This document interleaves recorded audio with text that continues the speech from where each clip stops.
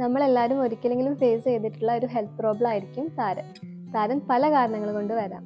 നമ്മുടെ തലയ്ക്ക് എണ്ണമായി നൽകുന്ന സെബേഷ്യസ് ഗ്രന്ഥി അമിതമായി സെബ ഉൽപ്പാദിപ്പിക്കുകയും ഈ സെബം തലയിൽ കെട്ടിക്കിടന്ന് താരനായി മാറുകയും ചെയ്യും. അതുപോലെ തന്നെ തലയിലുണ്ടാകുന്ന ഫംഗൽ ഇൻഫെക്ഷൻസ് കൊണ്ടോ നമ്മൾ ഉപയോഗിക്കുന്ന ഹെയർ ക്രീംസിന്റെയോ ഹെയർ പ്രൊഡക്ട്സിന്റെ ഒക്കെ സൈഡ് എഫക്റ്റ് ആയിട്ടോ തലയിലെ സ്കിന്ന് ഡ്രൈ ആയിട്ടൊക്കെ താരനാവാം.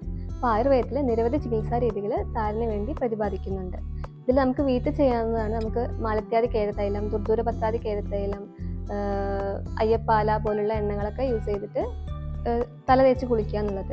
ഇതോടൊപ്പം തല വാഷ് ചെയ്യാനായിട്ട് നമുക്ക് ത്രിഫ്ല ചൂർണോ നെല്ലിക്ക ചൂർണോ ഒക്കെ യൂസ് ചെയ്തിട്ട് അല്ലെങ്കിൽ മൈൽഡ് ഷാമ്പൂസ് ഒക്കെ യൂസ് ചെയ്തിട്ട് ഹെയർ വാഷ് ചെയ്യാം. ഇങ്ങനെയൊക്കെ ചെയ്തിട്ടും നമുക്ക് വേണ്ട രീതിയിലുള്ള റിസൾട്ട് കിട്ടുന്നില്ല എന്നുണ്ടെങ്കിൽ നമ്മൾ തീർച്ചയായിട്ടും ഒരു ഡോക്ടറെ സമീപിക്കേണ്ടത് അത്യാവശ്യമാണ്. കാരണം എന്താണെന്ന് വെച്ചിട്ടുണ്ടെങ്കിൽ പല രോഗങ്ങളുടെയും മുന്നോടിയായിട്ട് താരം വരാം. ഇപ്പോൾ തലയിൽ ഉണ്ടാകുന്ന സോറിയാസിസ് സെബോറിക് ഡെർമറ്റൈറ്റിസ് എക്സിമ ഇവയുടെ എല്ലാം തുടക്കം എന്ന് പറയുന്നത് ഈ താരന്റെ പോലെ തന്നെയാണ്. പക്ഷേ ഇതെല്ലാം താരനേക്കാളും കുറച്ചും കൂടി കോംപ്ലിക്കേറ്റഡ് ആയിട്ടുള്ള അസുഖങ്ങളാണ്. അപ്പോൾ ഇത്രയും ഹോം റെമഡീസ് ട്രൈ ചെയ്തിട്ടും കുറവില്ല എന്ന് കണ്ടിട്ടുണ്ടെങ്കിൽ നമ്മളൊരു ഡോക്ടറെ കാണേണ്ടത് അനിവാര്യമാണ്.